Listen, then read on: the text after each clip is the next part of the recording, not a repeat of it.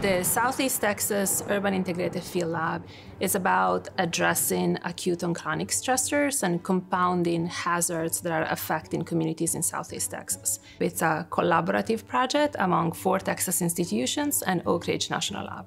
By partnering national laboratories with local academic institutions, we can bring large national capabilities and resources to solve problems that are identified by local communities and task forces. This community-driven approach is critical to study the impacts of climate change on real people in real cities like Port Arthur and Beaumont in this project. What makes the ecosystem so unique is that we have so many in Southeast Texas, from the coastal ecosystems through the marshes to the wetlands to the longleaf pine. What we learned from Planet Texas 2050 is that when you look at challenges such as dealing with compounding hazards, you're dealing with communities that are exposed to these hazards, you really need to bring everyone to the table. And also taught us that this two-way approach is really important. And so the Southeast Texas UIFL has both a top-down approach, which is kind of like the classic way to do science. We run our models, we create our projections, but also there's a very important bottom-up approach that allows us to start from the communities and really ask them what matters to them. The flooding hazards are very interesting and complex because this region is affected by compounding flooding. And with that, I mean the flooding can come from a river, it can come from rainfall directly, and it can come from the coast.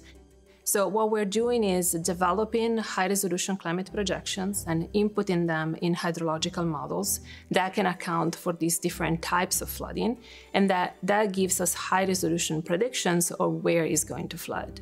We have sensors installed on various places to understand better how the flows go it gives you information on flooding on areas that are difficult to model, and that information can be integrated to calibrate our numerical models so that their solution is much more close to what happens in reality. The Sniffer Lab leads uh, outdoor and indoor air quality measurements, focusing on volatile organic compounds, or VOCs. We aim to quantify the factors that affect human health. So this uh, mobile van is an unprecedented and cool tool for us because we are able to take mobile measurements. We can do spatial mapping we can see where the major pollution hotspots are. This really helps us understand what kind of sources are around and contributing to different pollutants and to different exposures in the communities. We wanted to think about, you know, um, adaptable uh, solutions or adaptation strategies in, in the face of future climate. So I think a lot of people feel forgotten in this area. We went through several different disasters in the past several years. And uh, where we did get some assistance, we were kind of on the back burner of it. And so I believe that people want to make sure that uh, when things are coming our way, we see a disaster or we can um, see that we may need assistance is that we have support from all the resources around us and making sure that people have access to those resources. It's one thing to have um, things on paper, resources available, but can people really get access to what they need and with that, it means that we want to understand, first of all, the current hazards, so flooding and air quality, how they're affecting the communities here, and whether there's an inequitable distribution of the impact. Here in Southeast Texas, there's a lot of people who've lived here a long time. They know what's happened. Some of them know what happened in, in the more riverine floods 10 years ago and how it affected a, a, neighborhood and how deep the water might get. I mean, the information they give us is, is critical.